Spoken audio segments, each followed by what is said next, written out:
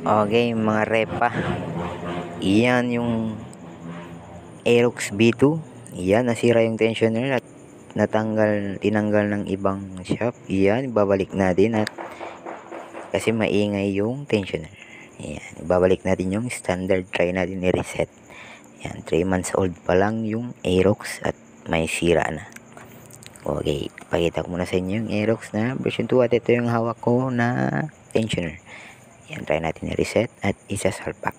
Okay.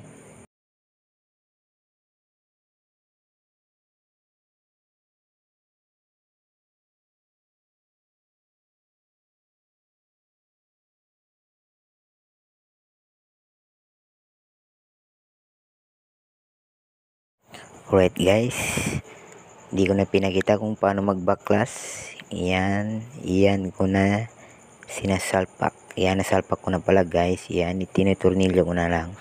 At wala akong mahanap na susi para sa tensioner. At yung ginamit ko yung sirang fuse.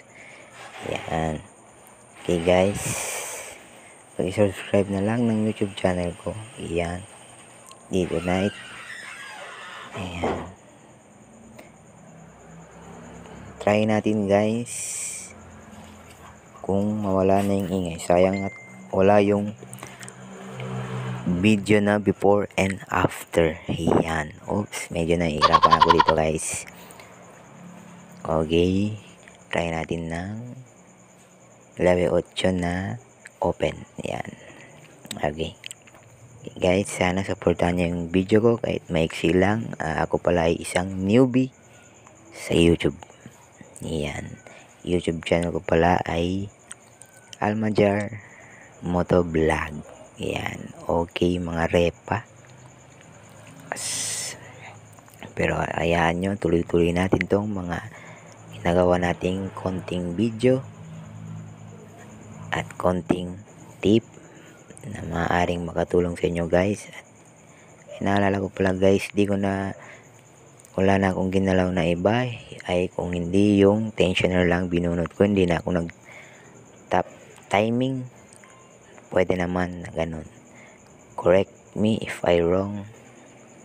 Yan. Okay guys. Medyo nahihirapan ako dito. Yan. Mixing video. Ay sorry guys. Yung ginamit ko pala pang start ay paa paa yung ginamit ko. Yan. Makikita nyo sa video ko na paa yung ginamit ko. Okay, alright. Rock and roll.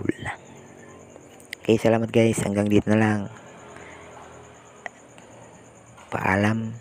Tingnan nyo na lang yung huling video at paano ko binuhay yung Aerox na V2. Okay, bye-bye. Salamat.